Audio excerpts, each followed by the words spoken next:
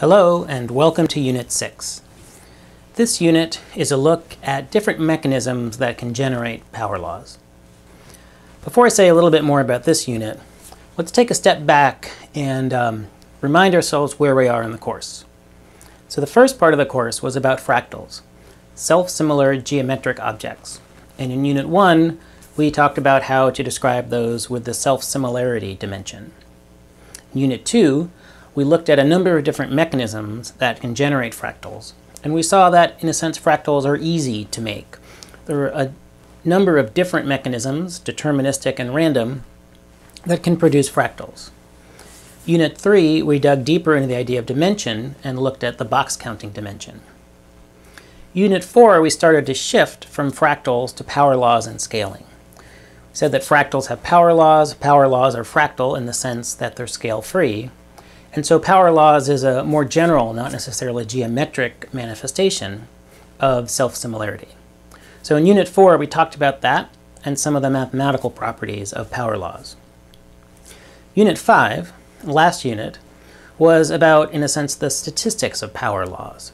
Given some data, how do you tell if it's a power law or not? How do you estimate the exponent um, alpha?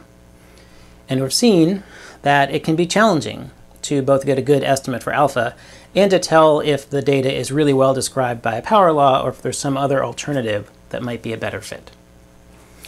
So that brings us to this unit, Unit 6, where rather than sort of starting with data and trying to infer backwards and do statistics, we're going to consider a number of different models and mechanisms that are capable of generating power law or power law-like uh, behavior.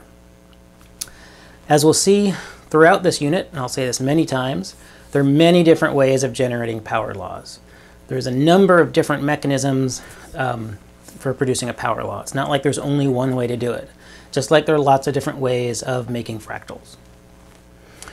So this is a, a broad topic, a lot to try to cover in, in one unit.